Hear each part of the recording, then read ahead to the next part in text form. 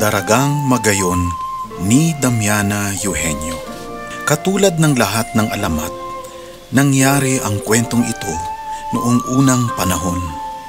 Naganap ito sa payapang rehiyon ng Ibalong sa maliit na bayan ng Rawis na pinamumunuan ng makatarungang datong si Makusog. Ang asawa ng dato na si Dawani ay namatay sa panganganak. Kaya't nanatiling iisa ang anak ni Dato Makusog, isang anak na babaeng walang kapari sa kagandahan at kabaitan, si Daragang Magayon.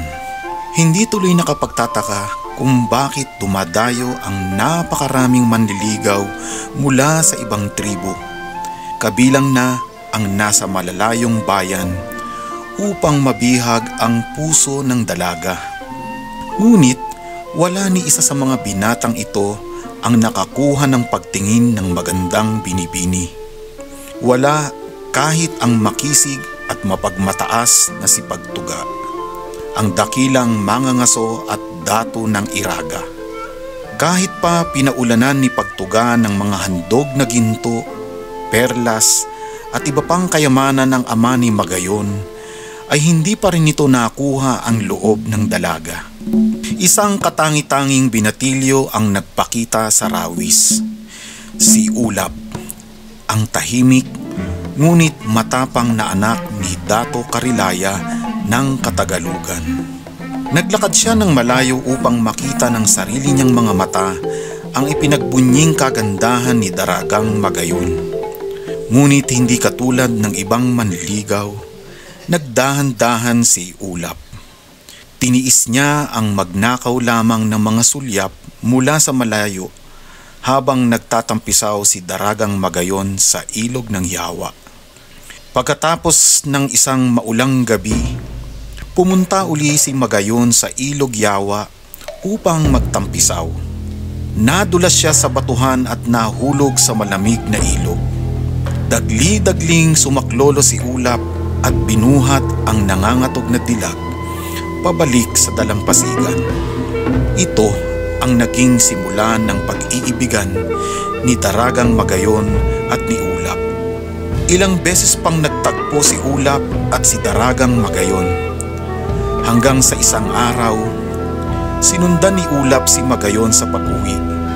Pagdating sa bahay ni Dato Makuso, buong lakas ng loob na ibinaon ni umiwas ng tingin dahil dito napagtanto ni Dato Makusog na umiibig ang kanyang nag-iisang anak.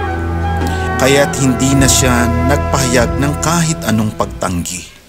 Tuwang-tuwa si Magayon at si Ulap. Binalak nilang gawin ang kasalan pagkalipas ng isang buwan upang mabalitaan ni Ulap ang kanyang mga kababayan at upang mapaghandaang husto para sa pagdiriwang. Mabilis na kumalat ang magandang balita. Nakarating agad ito kay Pagtuga na namula sa galit.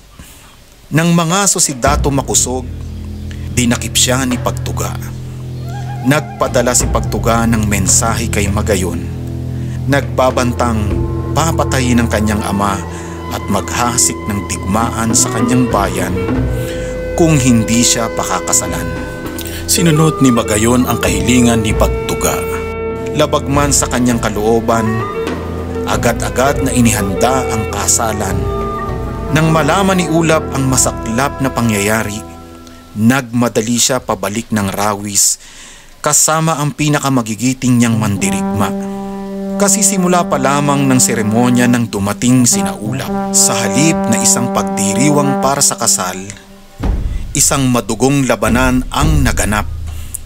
Napuno ang langit ng mga palaso. Napuno ang hangin ng tunog ng nagkikiskisang bolo. Nagtuos si Ulap at si Pagtuga.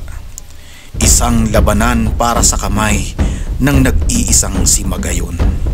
Nadaig at napaslang ni Ulap si Pagtuga. Masayang sinalubong ni Magayon si Ulap akmang yayakapin nang biglang isang ligaw na palaso ang tumama sa likod ng dalaga. At habang sapo-sapo ni Ulap ang nag-aagaw hininga niyang iniibig, bigla siyang sinibat sa likod ng isang kawal ni Pagtuga. Agad na hinataw ni Dato Makusog ang kawal ng kanyang minasbad, isang matalim na bolo.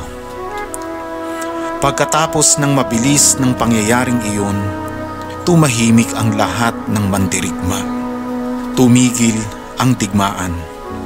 Sa halip na marinig ang kasiyahan ng isang pagdiriwang ng kasalan, mga hikbi at hagulgol para sa mga pumanaw ang lumutang sa hangin. Kahit na halos walang makita dahil sa walang tigil na pagluha si Dato Makusog, naghukay siya ng naghukay. Nang matapos, nilibing niya ang kanyang nag-iisang anak na si Magayon at ang nag-iisa nitong pag-ibig na si Ulap nang magkatabi at magkayakap. Habang lumilipas ang mga araw, unti-unting tumaas ang lupang pinaglibingan kina Ulap at Magayon. Tumaas ito ng tumaas at di nagtagal. Sinamahan ito ng pagyanig ng lupa at pagtilapon ng nagbabagang mga bato. Naniniwala ang mga matatanda na kapag nangyayari ito, ginagalit ni Pagtuga ang bulkan upang maibalik sa kanya ang mga kayamanang iniregalo niya kay Magayon. Mga regalong inilibing kasama ng dalaga sang-ayon sa mga lumang paniniwala. May mga araw kung kailan natatakpan ng mga ulap ang tuktok ng bulkan. Sinasabi ng mga matatanda na kapag nangyayari ito, hinahalikan ni ulap si Magayon at kung pagkatapos nito ay marahang dumampi ang ulan sa magiliw na libis ng bulkan. Naniniwala ang mga matatandang lumuluha si Ulan.